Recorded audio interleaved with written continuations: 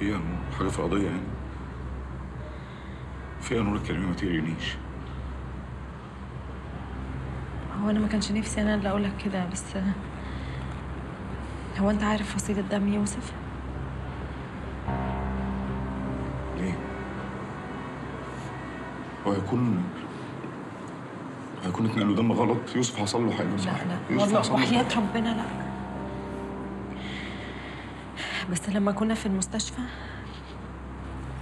ونزف زي ما قلت لك فاضطروا إن هم يشوفوا فصيلة دم. فصيلة دمه إيه؟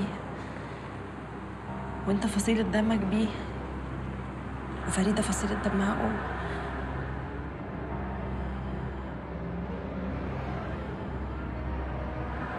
أنا آسفة يا عمر. ما ينفعش ما ينفعش التحليل غلط. التحليل غلط. التحليل غلط أكيد.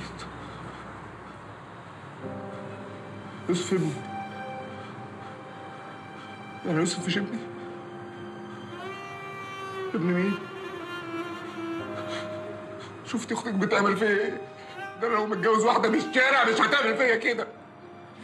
عمر أنا مش هدافع عنها. تدافع عن مين؟ تدافع عن مين؟ ربنا ينتقم منك يا فريدة ربنا ينتقم منك يا فريدة حسبي الله ونعم الوكيل. حسبي الله ونعم الوكيل فيكي. ممكن تهدى حسبي الله ونعم في الوكيل. الاسم. اسمي. إيه؟ أنا عارفة إن هي حاجة تخض. تخض؟ تخض فعلا؟ تقهر توجع. سميها زي ما تسميها. بس ممكن كمان تفكر بطريقة. إن الموضوع ده ممكن يفيدك في القضية. إن في حد تاني كان مع فريدة وأبو يوسف ممكن يكون هو اللي قتلها. قضية إيه؟ قضية إيه ابني؟ ابني. أنت عايزة نقبل إن ابني مش ابني عشان القضية؟ أنت عايزة تقفي في المحكمة وتقولي لهم إن يوسف مش ابني عشان تطلعيني بره؟ مش عايز أطلع. مش عايز أطلع. مش عايز أعيش. عايز يوسف يعرف إنه مش ابني يا نور. لا لا هو ذنبه إيه يا حبيبي؟ هو ذنبه إيه؟ أنا مش عايز يوسف يعرف ان هو مش ابني هو ماله؟ هو ماله حبيبي؟ هو مالوش ذنب ابعدي.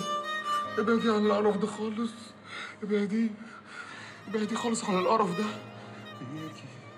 إياكي يا نور. إياكي تنطقي في المحكمة. إياكي لو هيعدم وحياتي عندي اوعي تقولي كده. أنا مش هعمل فيه كده.